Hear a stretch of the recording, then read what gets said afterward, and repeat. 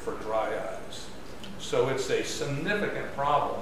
And as baby boomers are happening, there's going to be more dry eyes. But it turns out actually that I, we're now seeing teenagers and people in their 20s and 30s with dry eyes because everyone's playing, they're all these kids are playing these games all day long and they're staring and not blinking.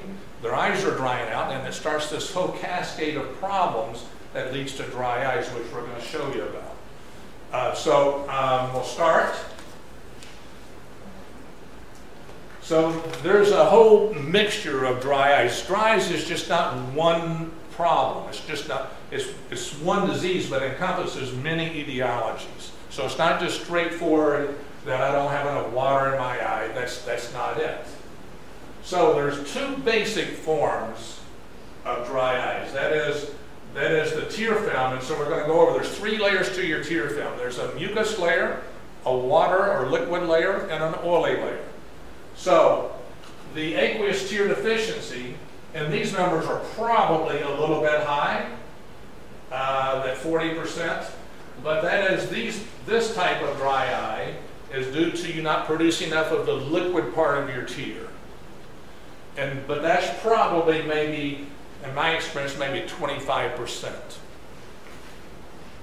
Evaporative tear deficiency is probably 75% of dry eye problems, and there's a little mixture between the two. You got a little bit of both. And so dry eyes is just from aqueous decreased production. It could be aging or hormonal. You could be different things. You've lost nerve, nerve supply to your eye or something happened. But the major cause that we're going to discuss of dry eyes is meibomian gland dysfunction. And that is by far the most common cause of dry eyes.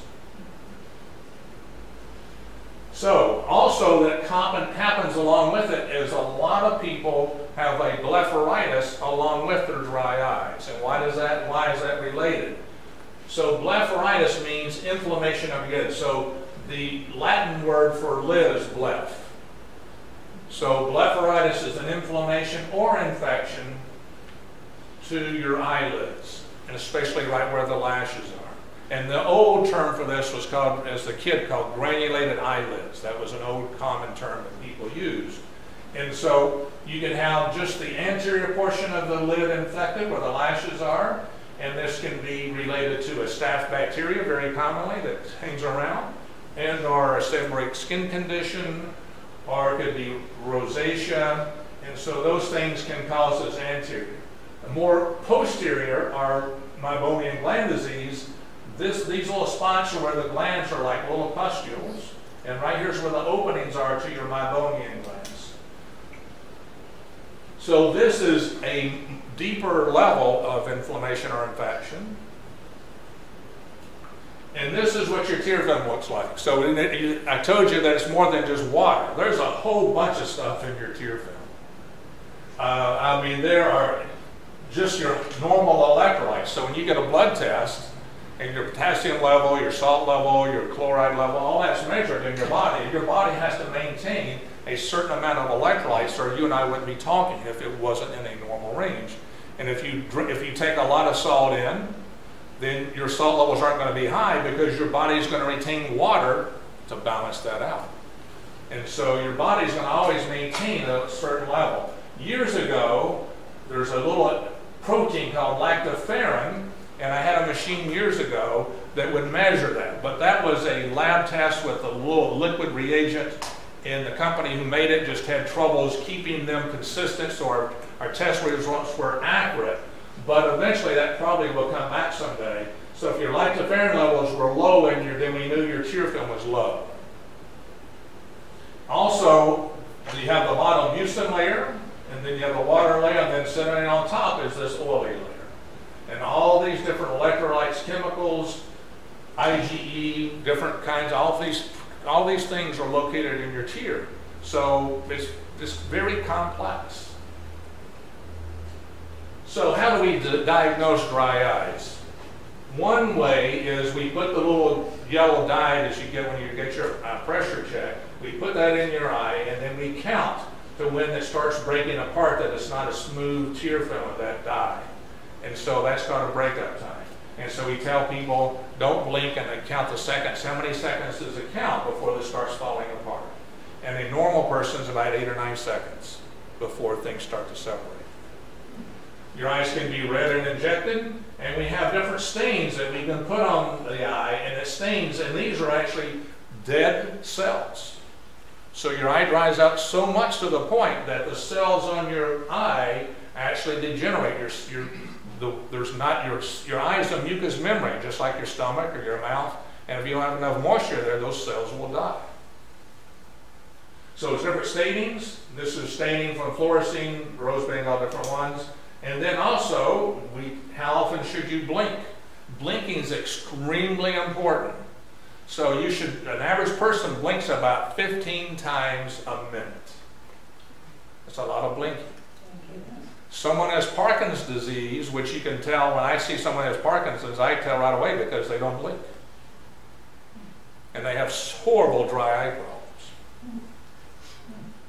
Another test that we use for, that's probably been around for 40 or 50 years is a Schirmer's test. So this little strip of paper is put in the eye and is left there for five minutes, and then we measure how many millimeters of that paper did your tears wet. And I don't use it very much because it's compared to what we have today, it's just not, it's just not as useful because we can get more specific than that. And then there's now a tear osmolarity. This is a different machine uh, that's in a lab, but we now have a tear osmolarity machine, and that's part of my workup. So when you come in for dry eyes, we measure, take a sample of your tear, and then it measures how salty your tear level, tear film is.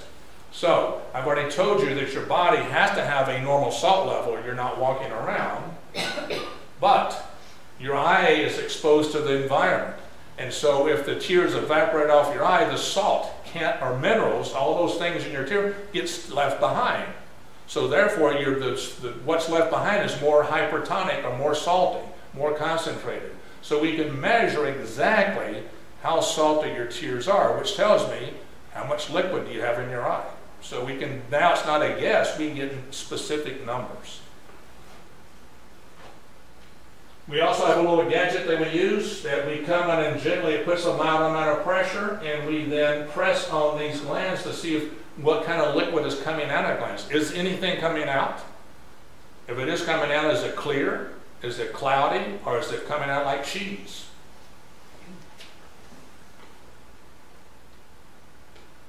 So you can see every press on it, there's a little, slight little liquid bump where it's coming out of these glands. So that's a normal meibomian gland, and this is what the glands look like inside your lid.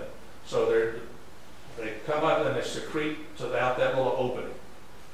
They're working on getting another instrument, who knows what that's going to cost, that actually we will be able to examine how healthy those glands look with an instrument of some sort. But they're working on that now. So when we look at your lids now, we're looking to see how this, this is normal looking this is this gland's totally plugged. Not, there's not, nothing coming out of that. You can see increased blood vessels. So all this is inflamed. These glands are, openings are inflamed, and the stuff coming out of this is thick. So that's not normal. So if that's if that's what your meibomian gland is producing, you're going to have pretty bad dry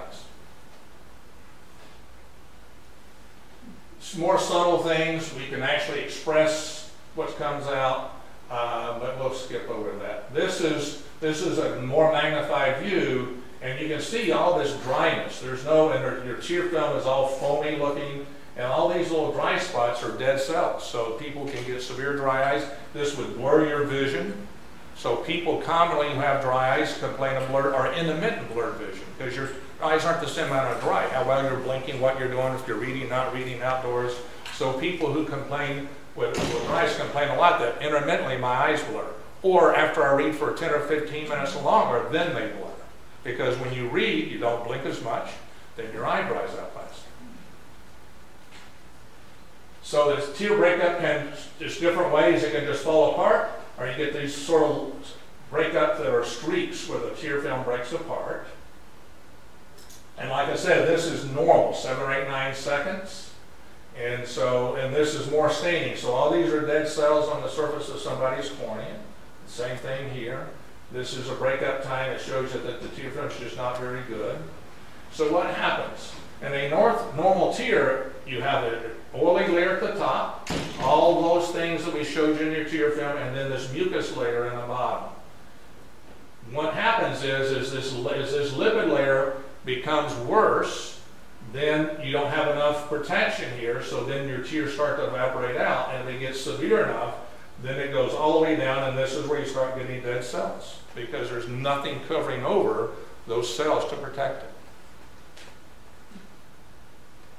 So what happens, like we are talking about hyperosmolarity, so now all this stuff is now more concentrated. And this is what happens. So as your salt level goes up, the salt causes an inflammatory reaction on the cells of the surface of your eye. That inflammation then damages those cells, so now they don't work as well, and then it gets worse. and So it's a gradual increase in how bad your dry gets over a year. It's not quickly, it's over years of time. So now there's a big panel to put together and how we categorize from mild to moderate and the different treatments this organization uh, has come up with we follow some of this, but I sort of come up with my own system that's similar to that. So in most cases, 75% of the time, we're going to have to get this lipid layer to be better so now your whole tear film is stable. Because if the lipid layer falls apart, then everything underneath it falls apart. So one way to try to get this to work a little better, and then we'll go over that a little bit later how we treat things, is hot compresses and lid hygiene. So if you have chronic blepharitis or chronic meibomianitis, then we put people on hot compresses. so we have a, a, set of goggles here that we can use for people, or you can take a washcloth, put it in hot water. Hot as you can stand in it without burning yourself. You hold it up, when it cools down, back in the water, back up for 10 to 15 minutes. So you've got to really work at it pretty good. Um, the um, and some people do it twice a day, but at least first thing in the morning. The driest moment that they've measured, so the driest time for your eyes is one second before you wake up in the morning. That's your driest moment. Now, you have other times where it's dry, but they've measured it, and that's typically the driest time. So this is what your lid looks like. So the thing about the hot compresses is, is it's on the outside. It's got to go through the skin, the muscles, all this tissue to get to the gland in the back of the lid.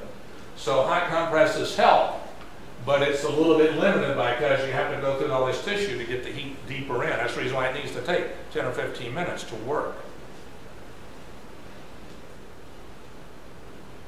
So we also offer nutritional supplements, which we're going to go over as well. So uh, there's a lot of studies, older studies, that said omega-3 or fish oil, high doses of it, improved your tear function. And that's probably true, but we have things that are better than that now, which we'll go over.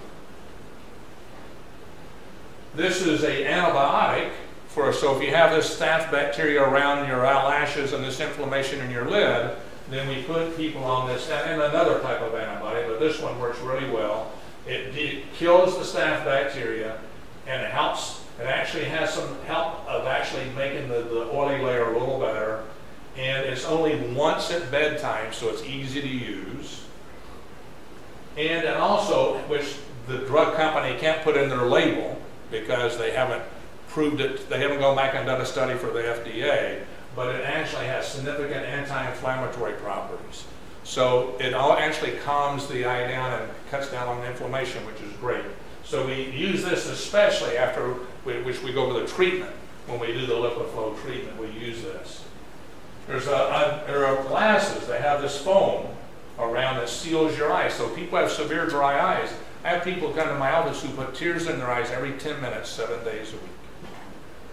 And so they're protect, so to protect their eyes from the environment, then it has this foam so it seals around their eyes so there's no air getting in and drying their eye out. Because if you lived in Arizona, you would be a lot worse than by living here because the environment has a significant factor on how dry your eyes are. If you go into Walmart to go look for something, they run the air conditioner at that place high, full bore, 24 hours a day, and the air in there is extremely dry. And then you're staring to look at something, and not blinking. So then